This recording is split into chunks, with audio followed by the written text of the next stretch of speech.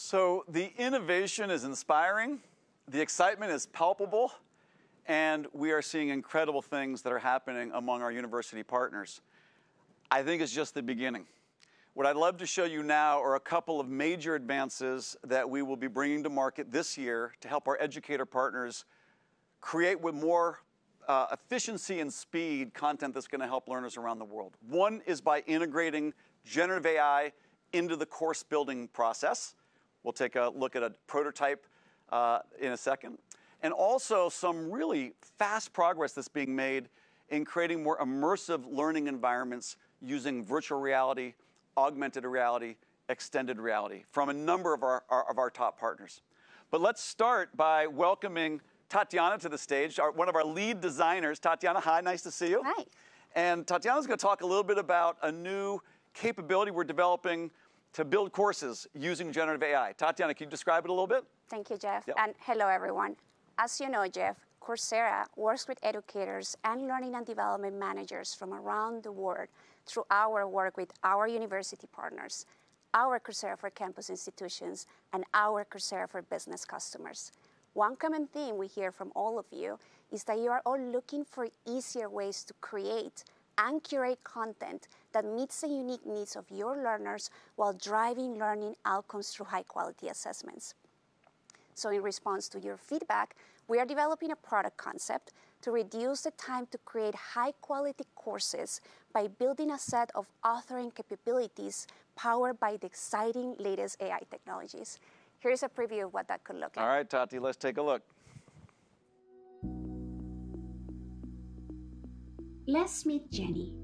Jenny wants to help her learners grow their leadership skills.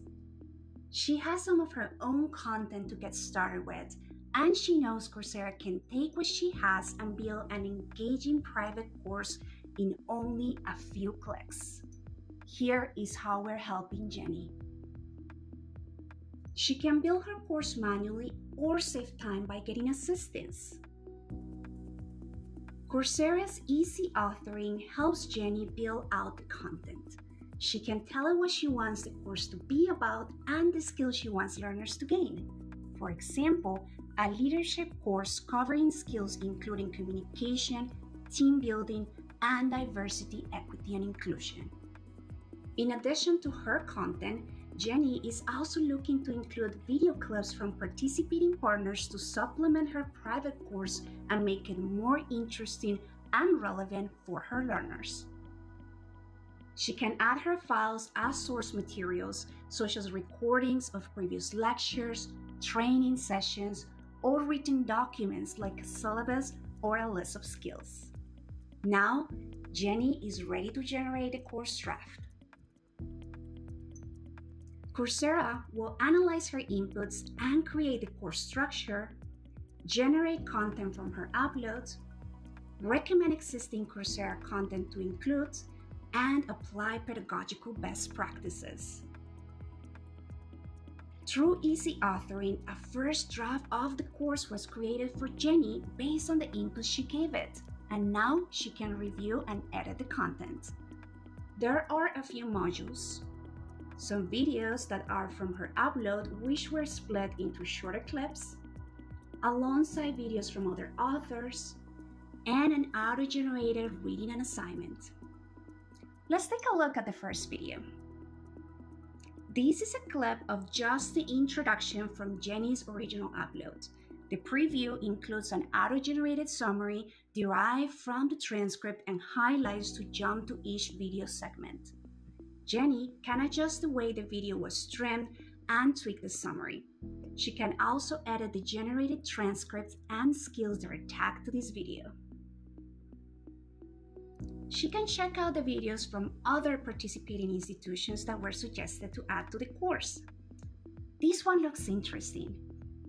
Jenny can watch the preview, read the summary, or skip to the highlighted segments of the video to get a quick sense of it.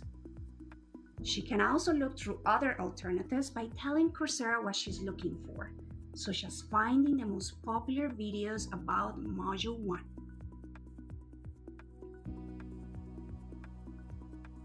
It suggested three other videos After previewing them, she can decide which ones to use to supplement her course. Reading was also auto-generated with a glossary of keywords based on the content in this module. An assignment was auto-generated based on the transcript of the uploaded videos and other content in the module, which is great because it will have taken her a long time to build these from scratch. She can add more questions to create more options for variability. Once Jenny is ready to launch the course, she can review the auto-generated course name, description, skill tags, and logo. Now, Jenny's private custom course is live, and learners at her organization are on their way to growing their leadership skills. Jenny can't believe how easy it was for her to create an engaging private course in Coursera. Our vision is to streamline customized course creation for educators and customers like Jenny using a blend of content to meet learners' unique needs.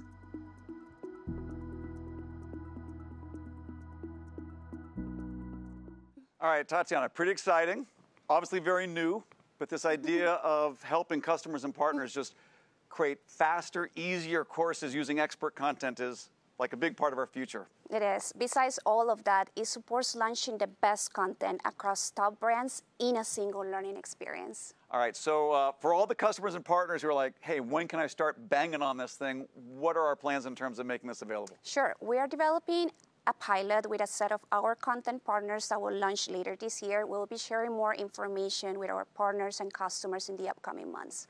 Today, we are recruiting educators and businesses willing to collaborate with us as participants in this pilot program. You can reach out to your representative if you want to join. All right, so we're recruiting for pilots. If you're interested in course building using generative AI, call your representative. Tatiana, thank you so much for joining us. Thank you, Jeff.